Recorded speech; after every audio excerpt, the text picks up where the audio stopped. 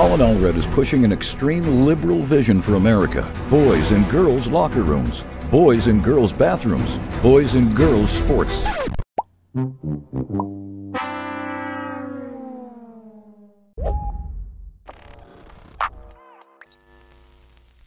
Well, it turns out Ted Cruz made a huge mistake and ran not one, but two ads calling those teenage girls boys.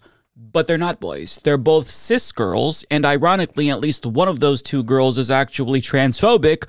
But because of Ted Cruz's ad, he opened those two minors up to anti trans abuse and harassment from potentially millions of anti trans bigots who now believe that those girls pose a threat to their daughters because Ted Cruz insinuated that they're dangerous. And what's even more embarrassing for his campaign is that they couldn't find a single example of a trans teen disrupting school sports in his own state, which is why he cherry picked an example from a state across the country in my state of Oregon. Now, the school district of those two girls is understandably furious in response to seeing this ad. The Hill reports an Oregon school district on Thursday asked Senator Ted Cruz's campaign to take down two ads targeting transgender athletes because they include a photograph of two minor girls who are not transgender and whose parents did not give the Cruz campaign permission to use the photo. In an email sent Thursday to the Cruz campaign, the representative from the Beaverton School District requested the ads be pulled from any and all distribution platforms platforms, noting that the two athletes pictured are minors. It is alarming that your campaign would have produced, distributed, promoted this ad with false information, especially with minor children involved. Yeah, and that right there is, I think, the crux of the problem. You have a grown man with power and a national platform demonizing teenagers and potentially endangering their lives, all for a political campaign ad. It is truly vile, and it speaks to the brain rot that transphobic bigots like Ted Cruz suffer from, who feel like it's fine to incite harassment against literal children so long as they suspect that the children in question might be trans. Who does that?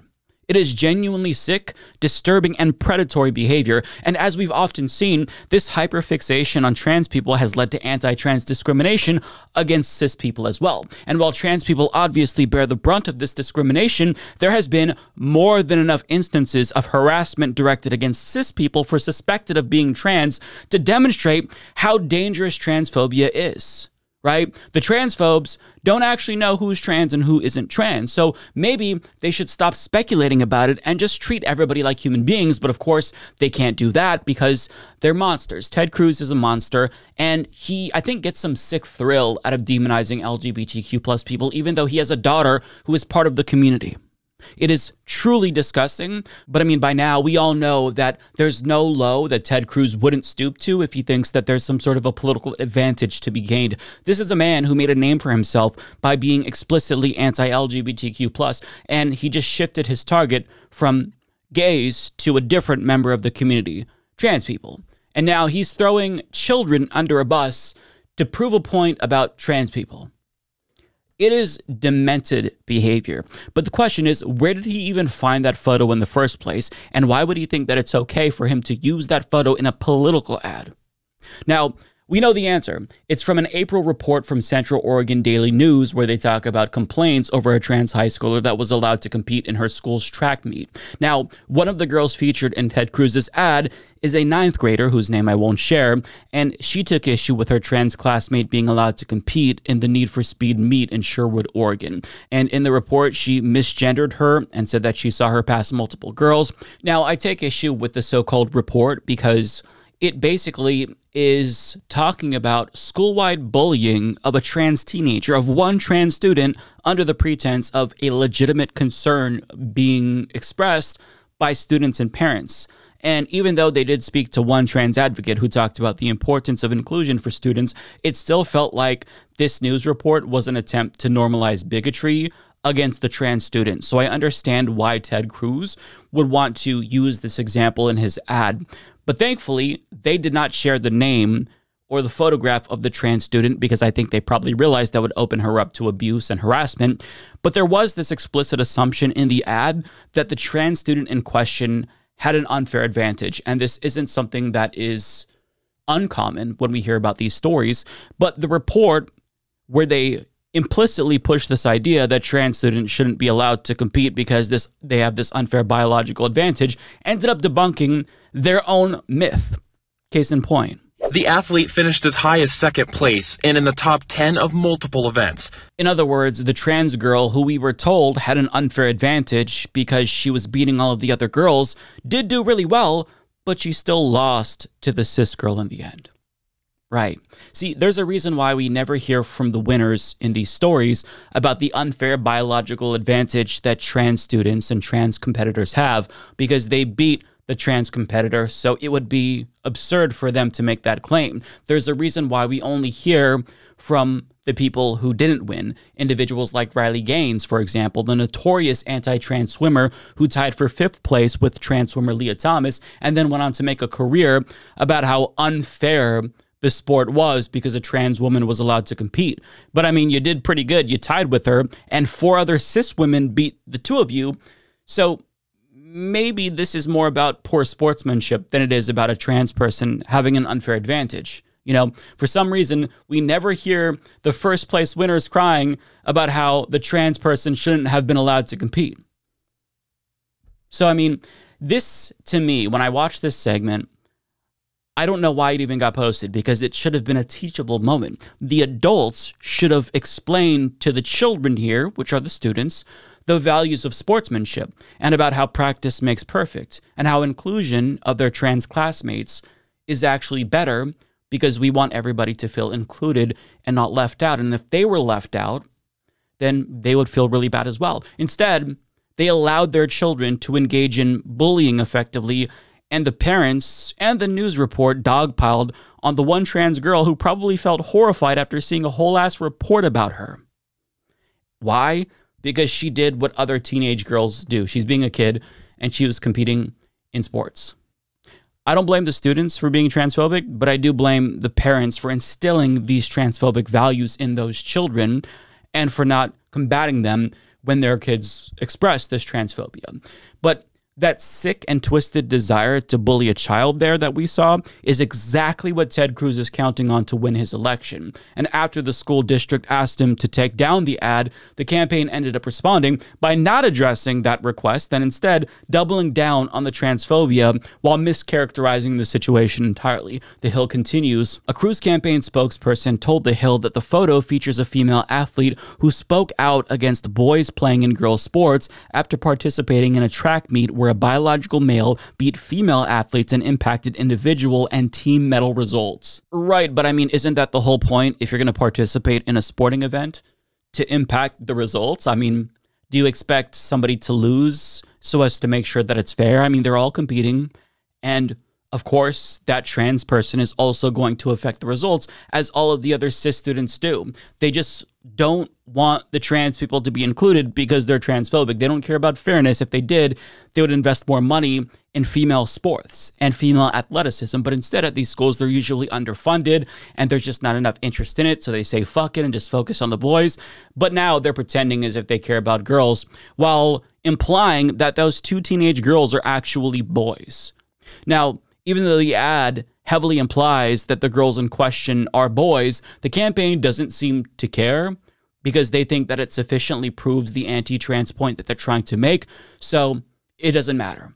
They also made no mention of whether or not they'd actually respect the wishes of the school district and take down the ads, nor did they mention how the trans teen in question lost to a cis girl in the end, which kind of undermines the point that trans students have this advantage. We don't know the situations there, but if that trans girl has been on HRT for a long enough time, there's no biological advantage whatsoever. We're talking about ninth graders here.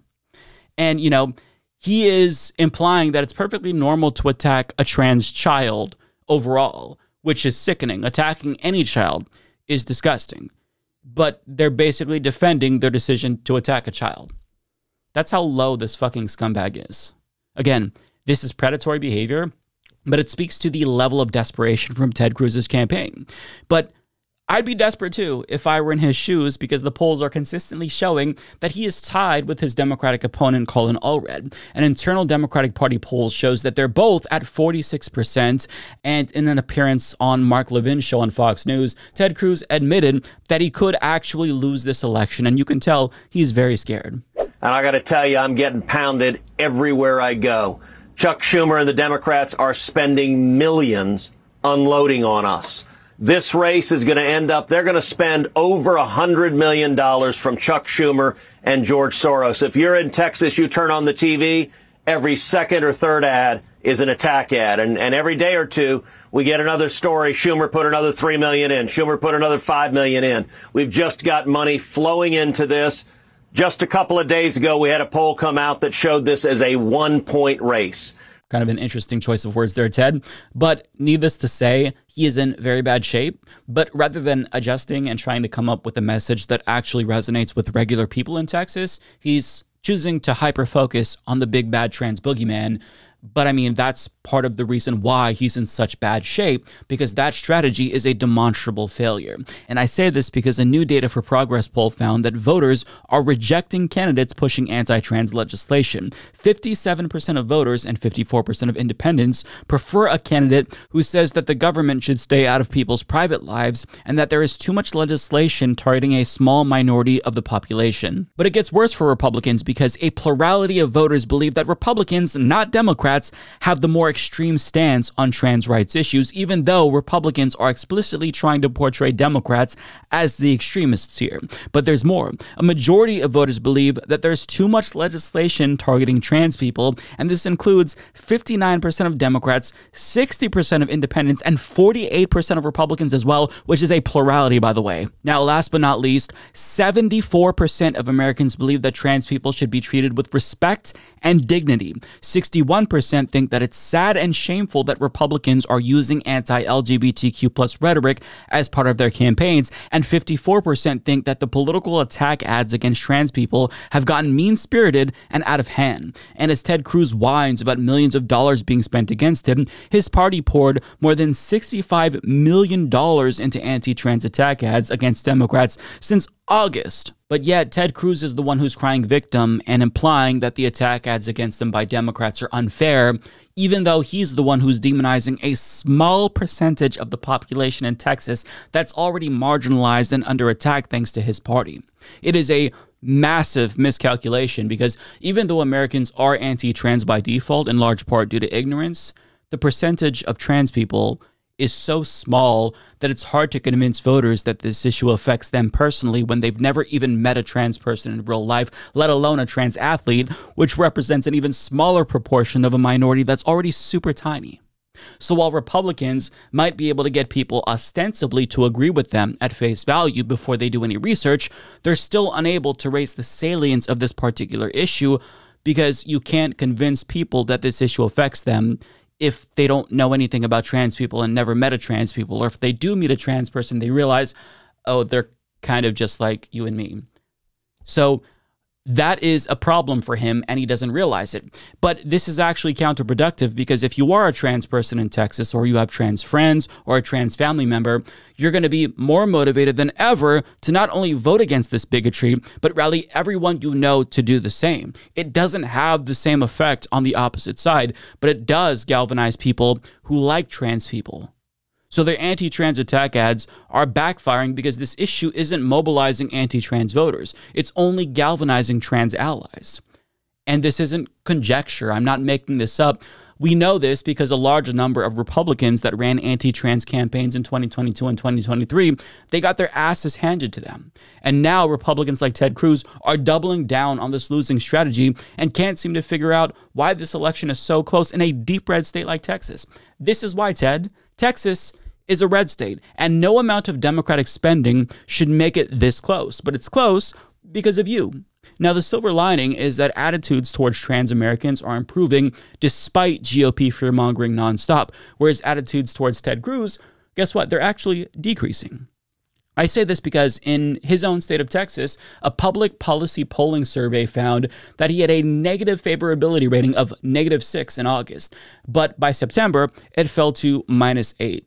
So as the ignorance dissipates and more people learn about trans people, they're beginning to accept them and like them. The same cannot be said about Ted Cruz because the more that people hear about him, the more they hate him. Hence why he's on the cusp of losing this election in the deep red state of Texas. Me, me, me.